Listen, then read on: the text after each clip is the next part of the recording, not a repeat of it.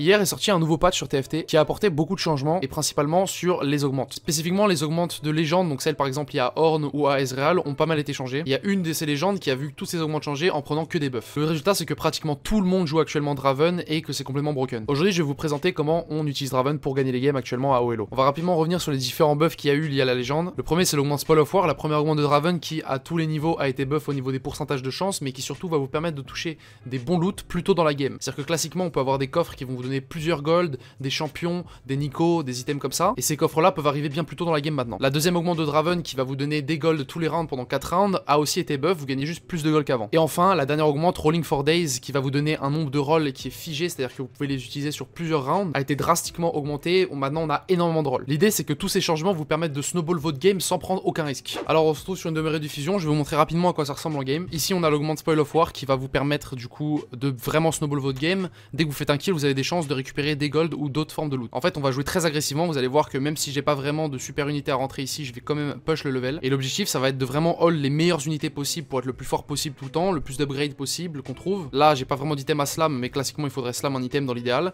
Et on va push les levels dès que possible. Vous voyez que je perds ce round. Classiquement, quand on perd un premier round, on a envie de jouer passif. Là, ce qui va se passer, c'est que ce round là aussi, je vais pas pouvoir faire grand chose dessus, mais il me semble que je le gagne. Voilà, je le gagne. Classiquement, ici, comme j'ai perdu mes premiers rounds, la logique voudrait que je fasse 10 gold pour, parce que ça va juste plus snowball mon économie. Sauf que c'est tellement fort spoil of war qu'on a envie de jouer le plus agressivement possible pour tenir cette tempo et résister aux autres joueurs Draven aussi. Donc là vous allez voir, je décide de vendre tous mes autres champions pour pouvoir acheter cette Tristana 2 et juste la push parce que c'est une upgrade niveau 2 tout simplement. Ça va augmenter mes chances de faire des kills et du coup de récupérer des gold et ça va aussi mettre en désavantage les autres joueurs de Draven et surtout les joueurs qui jouent pas Draven dans la game qui font concrètement une erreur actuellement. Donc ça c'est la première étape du plan, on push vraiment les niveaux très agressivement, vous allez voir que dans l'idéal il faut aussi push en 2-6 le niveau, le niveau 6. Là ici j'analyse que le lobby est assez faible, j'ai pas besoin de faire ça, ça n'a aucun sens parce que dans tous les cas je gagne mes rounds, mais concrètement ici, même si ça me coûte très cher, j'aurais pu mettre les 20 gold que j'ai pour passer niveau 6 directement. C'était totalement viable. Je slam tous mes items assez agressivement, il faut être le plus fort possible en permanence, c'est vraiment débile en fait. On arrive en 3-1, j'ai 23 gold donc je peux pas faire grand chose. À la rigueur, j'aurais pu roll down ici, mais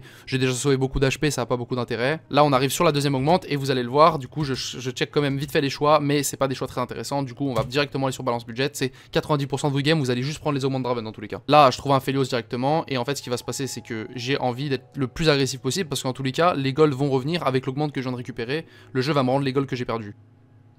Donc ici vous voyez, je vends la Lissandra, je push directement ce jean, juste pour me rentrer un petit détail, vraiment, tous les push que vous pouvez faire, vous les faites tant que vous n'êtes pas niveau 7, donc là on est niveau 7, et là vous allez voir que c'est un peu différent, mais jusqu'au niveau 7, vous allez push, push, push, push à 0 en boucle, essayer de rentrer le plus possible vos unités, bien entendu pour ceux qui savent pas push, ça veut dire monter de niveau. Ça va vous permettre d'être plus fort, simplement avec plus d'unités sur le board, d'avoir plus de chances de trouver des 4 costs, parce que c'est là aussi la clé de Draven, c'est qu'il faut le maximum de 4 costs. Donc là je fais tranquillement les rounds, mon économie est remontée par l'augment de Draven la deuxième. On avance tranquillement, on essaie de faire le board le plus fort, sans perdre trop d'HP, c'est pas très grave si on perd la streak, de toute façon ça génère bien trop de gold spoil of war. En fait la première augmente quand vous allez faire des kills va commencer à vous rapporter énormément à partir du stage 3 et 4 parce que à la place d'avoir juste un gold vous pouvez récupérer deux gold des fois sur un kill et rien que ça c'est énorme. Là bien entendu la deuxième, la deuxième chose importante à faire c'est que je scout un peu le lobby, je vois qui peut venir me compter sur ma compo. Vous allez voir que c'est très important quand vous jouez un 4 cost de regarder avec Draven qui va jouer votre composition. Là j'ai vu en gros qu'il y avait qu'un seul mec qui joue Aphelios donc je décide de commit sur Aphelios, d'être sûr de partir sur Aphelios. Ça faut le faire le plus tôt dans la game possible parce que si vous le faites trop tard et que vous voulez faire la stratégie Draven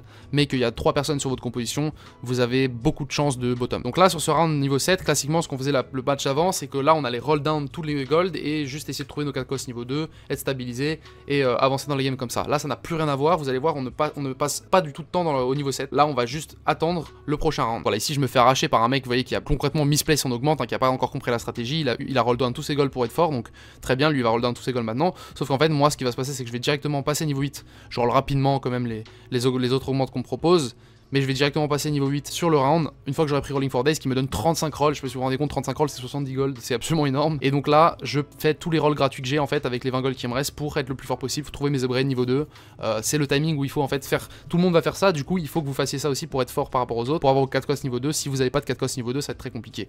Et par la même occasion, si vous pouvez récupérer un maximum de 4 costs qui deny les autres, donc il les empêche de trouver les leurs. Si, tout le monde cherche ses Juani, vous prenez des Juani, c'est bien. Ou alors, si vous pouvez trouver par exemple 4, 5 Urgot, et c'est par exemple de faire Urgot 3, c'est là où on va commencer à essayer de faire un 4 cost niveau 3. Donc on veut vraiment récupérer un maximum de 4 cost. Vous voyez que les rolls restent à travers les rounds, donc j'ai pas besoin d'utiliser euh, ces rolls tout de suite. Du coup, j'y vais tranquillement, je roll mes 4 costs. Je sais que j'ai déjà trouvé Jarvan 2, j'ai déjà trouvé quelques upgrades, j'ai quelques HP pour jouer, donc c'est ok, on peut attendre. Et chaque gold que je vais récupérer euh, à chaque round, concrètement, bah, je vais les utiliser pour aller trouver mes 4 costs. Donc là, je prends Aphelios 2 directement. Là, je commence à être assez fort du coup avec Aphelios 2, Jarvan 2. On a, on a pas loin aussi de Urgot 2 vu qu'on est Urgot dans le shop. Et on a aussi une Sejuani 2 qui peut tomber, un Shen 2 qui peut tomber. Voilà, ça tombe petit à petit. On continue à utiliser nos rolls tant qu'on n'est pas full upgrade. On va un Sion par la même occasion qu'on va rentrer. On continue à perdre, bien entendu, c'est ok. On a, on a concrètement pas tant que ça. Hein. Toutes nos augmentes qu'on a pris, c'est pour trouver nos 4 costs. Donc on a juste notre board 4 costs, on n'a pas grand chose de plus. Mais par contre, on a encore plein de rolls qu'on va continuer à faire. Là, j'ai 4 Urgot, donc là, quelque chose commence à se dessiner. Maintenant, j'en ai 5 un Sion 2. Je sais qu'Aphelios 3 sera très dur à les trouver. J'ai scout que l'autre joueur qui jouait Aphelios n'avait qu'un seul Urgot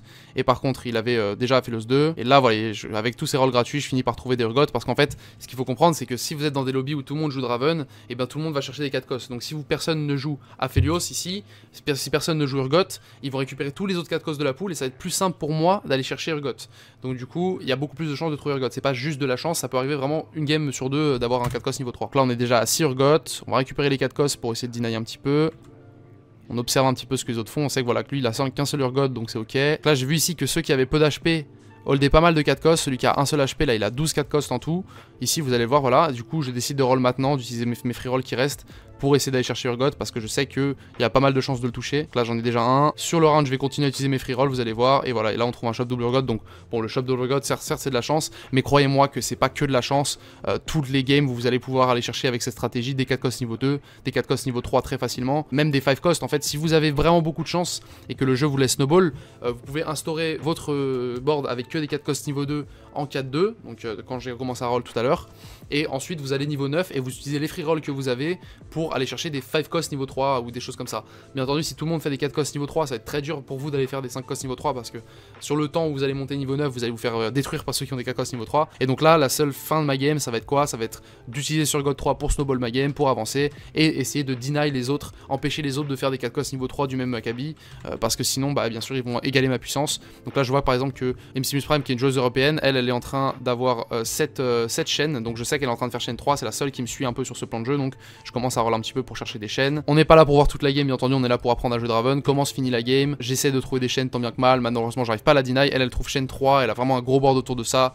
Donc elle va finir par me battre, mais là-dessus je fais un top 3 grâce à sur God 3. Je pense que vous comprenez un petit peu mieux maintenant pourquoi c'est toxique pour le jeu. Le snowball, le nombre de gold que ça vous apporte en fait, peu importe si vous n'avez pas d'augmente de board, vous allez complètement être trop fort parce que vous allez avoir plein de 4 costs niveau 3 dans vos games, donc c'est facile de faire des top 1 si personne ne vous suit là-dessus. Ce qui fait que la norme instaurée c'est Draven. Donc là le jeu n'a plus beaucoup de sens en ce moment, on, espère vraiment un bépage de Mordog.